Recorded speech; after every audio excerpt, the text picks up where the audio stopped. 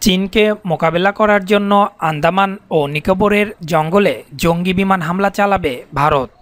ভারতের আন্দামান ও নিকোবর দ্বীপপুঞ্জে মালাক্কা, সোনা, লুম্বুক স্ট্রেট এবং উম্বাই ভেরের স্টেটস এবং পূর্ব ভারত মহাসাগর অঞ্চলের স্টেটসকে শক্তিশালী করার জন্য বিমান হামলা চালানোর সিদ্ধান্ত নিয়েছে ভারত।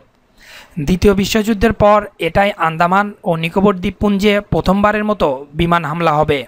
মালাক্কা, সোনা এবং লুম্বুক স্ট্রেটগুলি সমুদ্র উত্তরণে রয়েছে যা ভারতীয় মহাসাগরকে দক্ষিণ চীন সাগরে সংযুক্ত করে।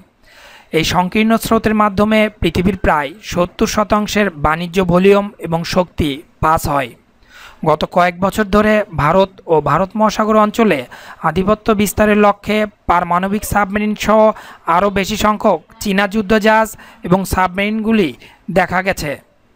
সম্প্রতি ভারতীয় নৌবাহিনী বেইজিংয়ে একটি গোপন বার্তা পাঠিয়েছে যে ভারত মহাসাগর অঞ্চলে চীনা যুদ্ধজাহাজের ছবিগুলি টুইট করে এই অঞ্চলের ওপর নজর রাখবে।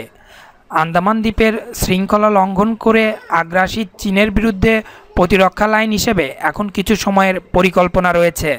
তবে মোদী সরকার এটিকে উপলব্ধি করার জন্য আরও শক্তি এবং ফোকাস দিয়েছে।